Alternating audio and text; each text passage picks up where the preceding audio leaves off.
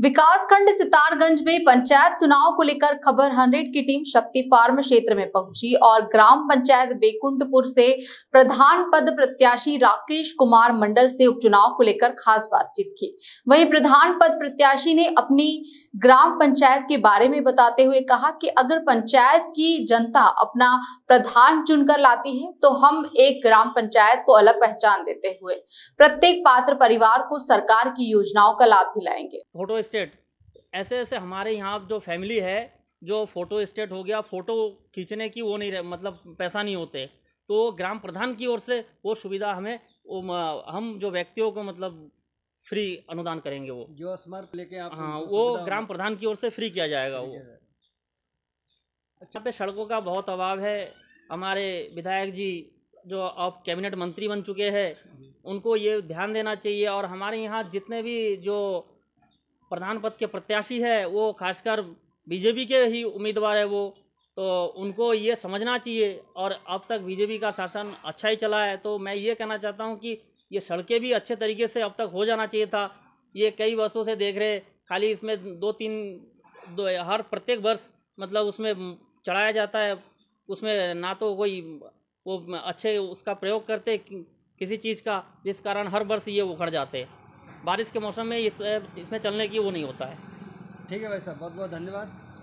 ते आपका जो ये टी वी हंड्रेड है चैनल के माध्यम से मेरा लाइव प्रशासन लि- प्रसारण लिया जा रहा है तो मैं आप लोगों का धन्यवाद करना चाहता हूँ जो आप लाइव ले ले रहे और सबको दिखा रहे हैं तो मैं ये कहना चाहता हूँ जो मैं ये प्रधान पद मैं एक मेरा नाम राकेश कुमार मंडल है my father name is Ranjit Mandal तो मैं एक मिडिल क्लास फैमिली से बिलोंग्स करता हूँ और मैं ये प्रधान पद के उम्मीदवार के रूप में पह, मैं पहले लड़ना नहीं चाह रहा था तो कुछ लोग मेरे को ज़बरदस्ती बोले कि हाँ आप लड़िए आप पापा को भी बोले कि आप सक्षम हैं इस योग्य है।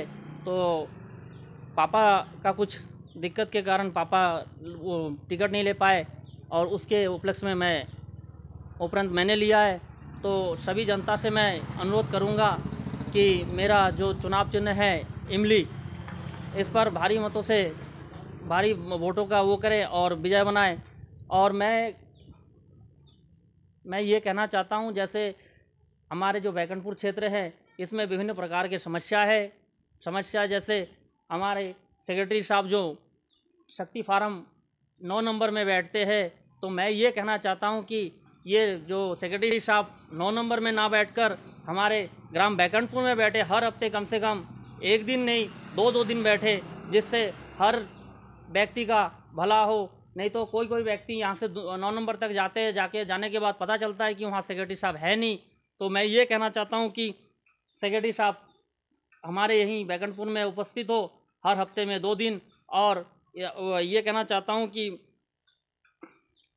मैं अगर बैकनपुर के प्रधान बनता हूँ तो एक बात मेरा ये भी है कि हर हफ़्ते, हर हर हफ़्ते एक मीटिंग का आयोजन करूँगा। जिस मीटिंग में ये होगा कि जैसे पेंशन हो गया इंदिरावास हो गया और भी विभिन्न प्रकार की समस्या जैसे राशन कार्ड में नाम चढ़ाना जो भी कार्य है उस कार्य को सफलतापूर्वक किया जाएगा।